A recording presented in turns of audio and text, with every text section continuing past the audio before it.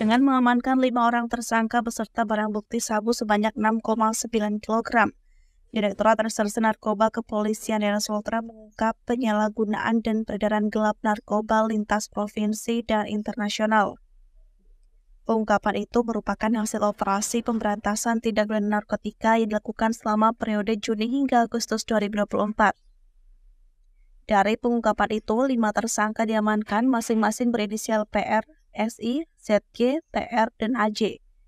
Dari hasil pemeriksaan, tersangka inisial PRSI, TR, dan AJ bertindak sebagai kurir lintas provinsi yang bertugas mengantarkan sabu dari Medan Sumatera Utara ke wilayah Kediri Sultra. Sementara tersangka inisial ZK diduga berperan sebagai kurir antar negara dalam jaringan internasional Kuala Lumpur, Malaysia ke Indonesia hingga Kedari.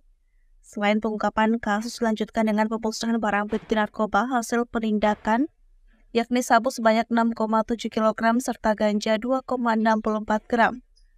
Pemusnahan itu sebagai bagian dari upaya penegakan hukum yang tegas terhadap kejahatan narkotika serta sebagai bentuk komitmen memberantas peredaran narkoba di wilayah hukum Polda Sultra.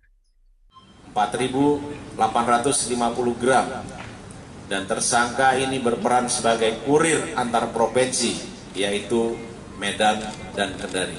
Tersangka ZG diamankan tanggal 6 Juli tahun 2024 di terminal kedatangan Bandara Halu Oleo Kendari dengan barang bukti sabu seberat kurang lebih 502,3 gram dan tersangka ini berperan sebagai kurir antar negara dan diduga merupakan bagian dari jaringan internasional yaitu Malaysia dan Indonesia.